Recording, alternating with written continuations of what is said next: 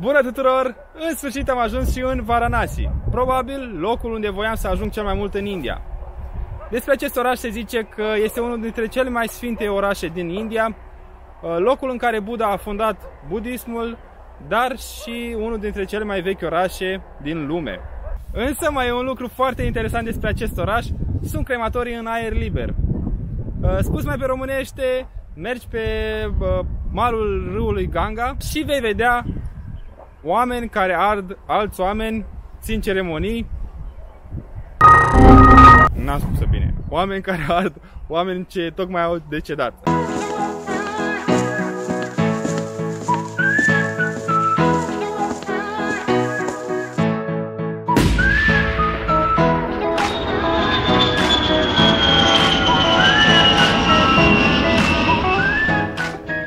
După ce am reușit să vizitez Taj Mahal, am pornit din Agra cu trenul spre Varanasi. Am făcut undeva la 17 ore și am plătit 500 de rupii.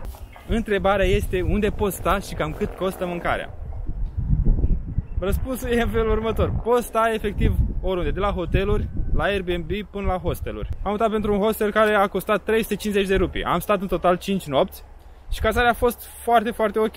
Voi pune în descriere linkul cu cazarea pentru a vedea cum arată o cazare de genul puteți alege să mâncați fie de la restaurant, unde prețurile sunt cuprinse între 300 și 500 de rupees, vorbim despre restaurante cu prețuri medii, dar și de la street food, unde prețurile tind să fie între 20 de rupees și 150 de rupees foarte ieftin după părerea mea. Eu am uh, mâncat de la ambele și m-am simțit foarte bine. N-am avut absolut nicio problemă cu mâncarea. Știu că multă lume zice că mâncarea este o problemă în India și că stomacul tău s-ar putea să nu facă față. Uite, pentru mine n-a fost absolut nicio problemă și totul uh, a decurs uh, cum trebuia. Mâncarea este foarte bună și un lucru interesant ce mi s-a părut mie foarte interesant este că este pentru toată lumea.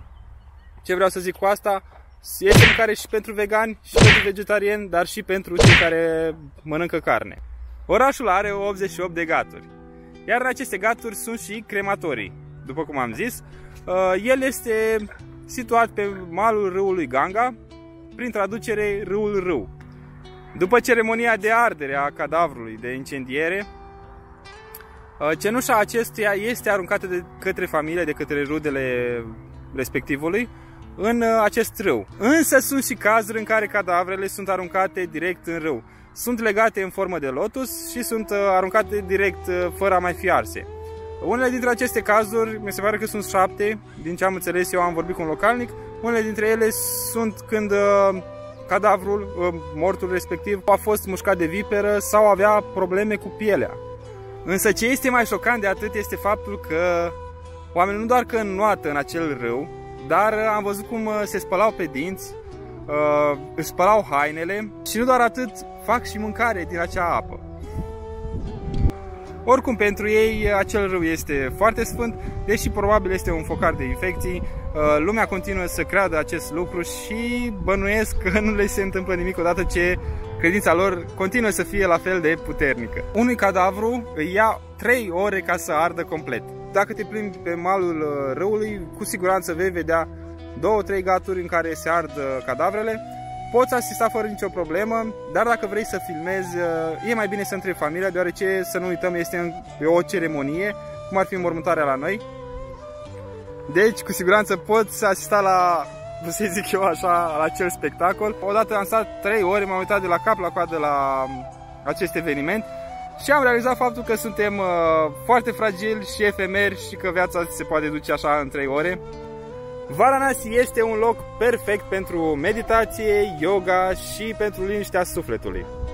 În cazul meu nu aveam un obiectiv anume, deci nu știam exact ce vreau să văd, astfel că am făcut așa un pact și am zis să nu folosesc deloc GPS-ul. M-am plimbat uh, 5 zile prin acel oraș, fabulos, foarte impresionant, deci am rămas impresionat doar uh, de orașul în sine, nu mai spunând de temple și tot ce, ce poți găsi prin oraș. Uh, M-am plimbat pe străzile înguste ale orașului, vreau să menționez că orașul are undeva la, sper să nu mă înșel, 5.000-6.000 de ani. Și am vizitat uh, foarte multe temple, biserici, uh, nu, nu le știu numele pentru că nu am folosit GPS, după cum am zis. Uh, ai ocazia totuși să vizitezi locul unde Buddha a făcut prima lui predică după înălțarea spirituală. Sincer aș fi vrut să vizitez și eu, dar am aflat în ultima zi și nu mai puteam să... N-am mai putut efectiv, n-am mai avut timp să mă duc să vizitez acel loc. Am participat la ceremonii dimineața la răsărit, dar și seara la apus. Uh, este ceva ce vă recomand, mi-a plăcut foarte mult, este foarte mișto.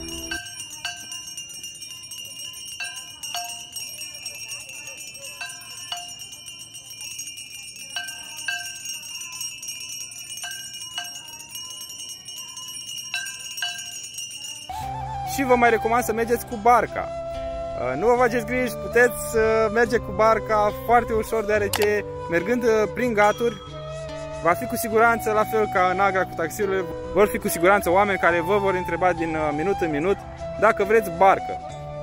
Costă 250 de rupees și merită, chiar merită să mergi cu barca pe râu, deoarece vei vedea așa orașul din altă perspectivă și poți, desigur, să mergi pe lângă mal, unde vor fi gaturi în care, la fel, sunt uh, crematorii.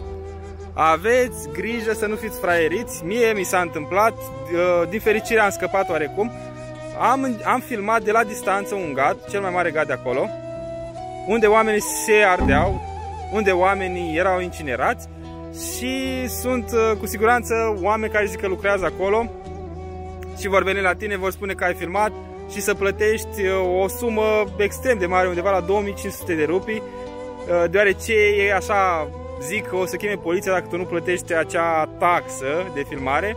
Le-am zis că o să șterg filmarea, nu am știut efectiv că nu se poate filma. Am zis că nu nicio problemă, voi șterge filmare. Ei insistau să plătesc 2500 uh, de rupii.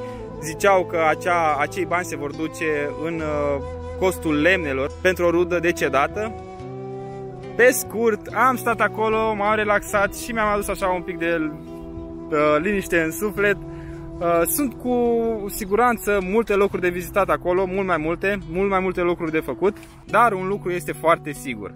Și anume dacă ajungi în India, acesta este cu siguranță un loc ce nu trebuie să-l ratezi.